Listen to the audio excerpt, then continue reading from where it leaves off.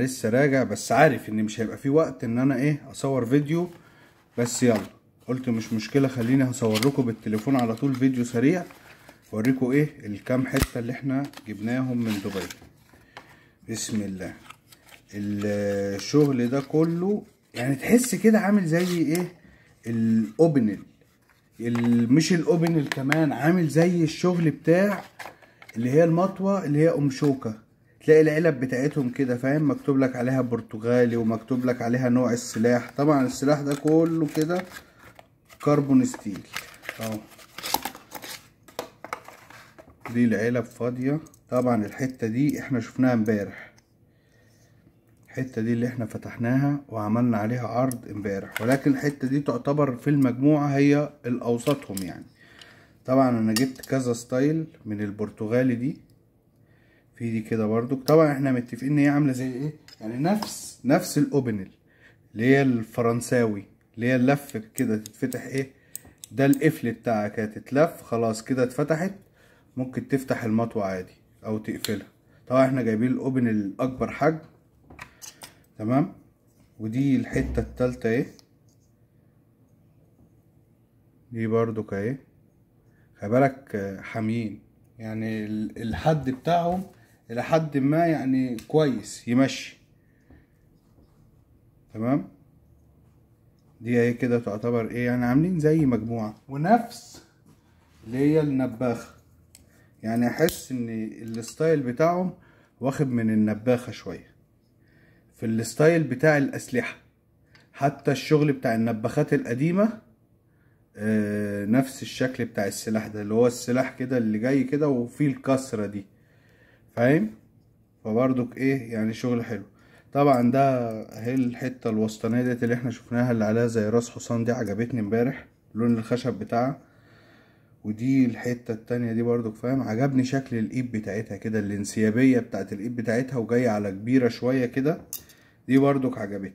ودي شبههم يعني دي شبه دي بالظبط يعني اعتبروا الاتنين إيه واحد.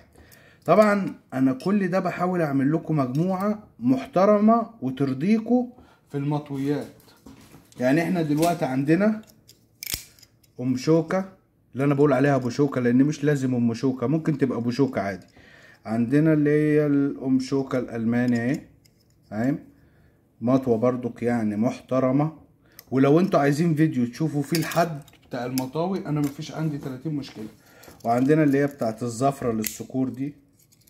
دي صناعة محلية على فكرة دي برضك أنا بعتبرها من النوادر لأن دي مش هتلاقي منها كتير أو مش هتلاقي منها قطع كتير. الحتة ديت أنا زي ما كنت ذاكر قبل كده أنا اشتريتها بالغلط. دي اشتريتها بالغلط على أساس إن هي ألماني الألماني القديم. وعندنا طبعا اللي هي الكشميرية اللي هي علي وأولاده ديت أعتقد يعني فاهم؟ يعني هي بتبقى باكستاني يا إيراني. أعتقد باكستاني. الشغل ده وشغل دقة المسامير والحفر بتاعهم ده هو. طبعا برضو خشبتها حلوة حتة زين كده برضو فاهم؟ الخشب الأحمر ده مش خشب أبيض. والحتة دي الصراحة يعني أنا اشتريتها مستعملة زي ما هي كده. من محل كده عنده إيه يعني أسلحة قديمة كنت أخويا وحبيبي يعني كنت بعت له واشترى لي الطلبية دي. عندنا ال- اللي هم القرون حتت الأوكابي يا باشا. أول إصدار في الجنوب أفريقيا أهو. السلاح بتاعها ألماني. السلاح ده الألماني. carbon steel بس يبقى مكتوب عليها carbon steel من هنا. عندنا برضو الأكاب التانية اللي هي الإصدار الأفريقي العادي. طبعا باعتين جايبين شقلة في القناة. القناة هتهيص أكاب الفترة اللي جاية. وعندنا طبعا برضو منهم تلات حتت. ده اللي هو خشب الجوز. على فكرة في يعني إيه الأخشاب بتختلف. يعني ده خشب جوز. ده اللي هي الفاهم برضو الحتت الصغيرة اللي عاملة زي الايه؟ زي القرن غزال دي الحتت الصغيرة. الشغل الباكستاني ده. فاهم؟ في حتت بعت اجيبها لكم نفس الشكل ده كده بس فاهم؟ عليها الطبعة من هنا الخوجة في برضو الكذا حتة دي. آه الكودو دي الكودو اللي كانت عندنا. طبعا اللي كنا عاملين عليها التجربة مع الأوكابي دي.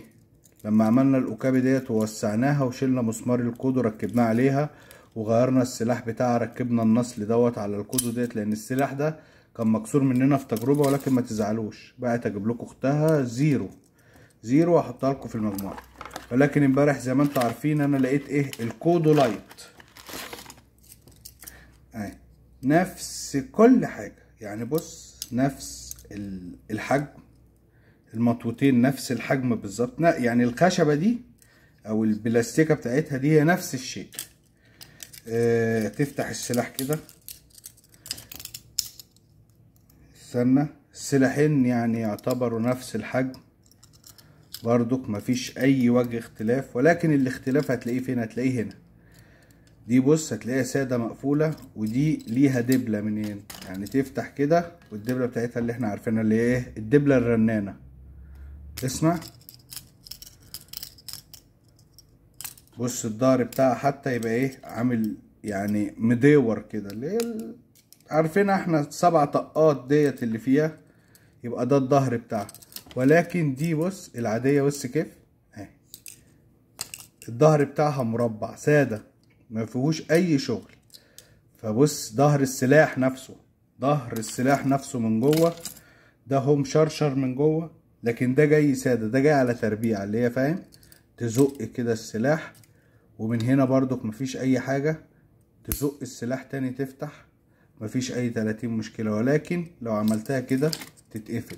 دي السهلة ودي اللي هي الايه القوية. طبعا أنا المجموعة دي أنا بالنسبة لي أنا كغاوي وكأستاذ يعني في القرنيات والحاجات دي برضو بتعلم من إخواتي وكده ناقصنا إيه؟ ناقصنا حتة ألماني ناقصنا كام حتة برضو من الباكستاني. في كام حتة كده أنا بقى اجيبها الكودو دي ناقصنا منها العلند. في واحدة اسمها العلند. العلند دي اللي هي الكودو الكبير. في شركة منزلة لو حد كتب كده اللي هي على العلند هتلاقي مطوة قد كده. يعني قد دي مرة ونص. وفي المطوة القرن الصيني. عاملين مطوة قرن غزال صيني طولها يمكن لما بتتفتح كده يمكن نص متر. هبعت أجيبها لكم إن شاء الله من الصين بس دي برضو فاهم بتاخد وقت على ما تتشحن وعلى ما تيجي ولكن إن شاء الله قريب جدا. قريب جدا هنكون كملنا المجموعة وهنكون ظبطناها. وأنا أشوف إن الاتنين دول يعني نفس الشيء لكن بالنسبة لنا إحنا كمحترفين في الأسلحة وكده دي يعني ليها استخدامات ولكن مش الاستخدامات اللي هي القوية قوي يعني استخداماتها برضو فاهم؟ هتبقى خفيفة لكن دي انت هتستخدمها وتتك عليها بقلب ليه؟ لأن انت عارف إن هي مش مش هتتقفل منك. وقت انت تقفلها انت اللي حاكم دبلتها وانت اللي هتقفلها. واسمحوا لي بقى فيديو سريع برضو النهارده لأن لسه راجع وعارف مش هيبقى قدامي وقت إن أنا أقعد أظبط الاستوديو وأقعد أصور لكم كده. ولكن أنا بوعدكم باهتمام إن شاء الله. وفي عظمة إن شاء الله هتبقى في عظمة على المحتوى. وفي تطور وشكرا لكل إخواتي وكل أصحابي اللي بيتفاعلوا معايا. وإذا أنت وصلت للمرحلة ديت وأنت من القناة فاخبط ال like المتين وما تبخلش علينا برأيك ب comment. لو أنت لسه جديد إحنا قناتنا بنعمل عليها كل حاجة في الأسلحة. بنجيب الأسلحة بنعمل عليها تجارب بنعمل عليها تعديلات على الأسلحة بنحاول نعمل تعديلات في الشكل بنعمل تعديلات في ده. ليه؟ ممكن أنت يكون ما عندكش غير حتة سلاح واحدة. لكن حتة زي كده أنا عملت عليها إيه؟ من ضمن التعديلات اللي فيها حرقنا على الخشبة بتاعتها. فأنت عرفت إن أنت لو حرقت على الخشبة هتاخد اللون ده. ده اللون بتاعها الأساسي هتاخد منها اللون ده. طيب عملنا فيها فيديو تاني فتحات تهوية وكده. فأنت عرفت إن أنت لو عملت فتحات تهوية أهي هتظبط معاك إزاي. طيب دي ناقص لها إيه؟ ناقص لها فيديوهين. هنكسرها وعملنا عليها طبعا الفيديو اللي قلبناها زي الكودو إن يركب عليها المسمار ده. طبعا والتجربة نجحت وكانت فكرة أخويا وحبيبي صاحب قناة أوكابي. وبرضك ظبطت الفكرة وزي الفل. ناقص لنا كام تجربة عليها؟ يعني لغاية دلوقتي أنا بكلمك كده في أربع تجارب. عملنا تجربة المسمار وعملنا تجربة الحرق وعملنا تجربة الفتحات تمام؟ ممكن نكسرها وبعد ما نكسرها نروح عاملين عليها فيديو إزاي نلحمها ونشوف هل الان لو اتلحمت تدي المتانة ولا ما تديش المتانة. يعني كام فيديو كده وتبقى المطوة عملت اللي عليها معايا. فأنا ممكن أعدمها بعد كده فانت ما تزعلش عليها ولا تتضايق ونجيب غيرها إن شاء الله ونجيب أحسن منها.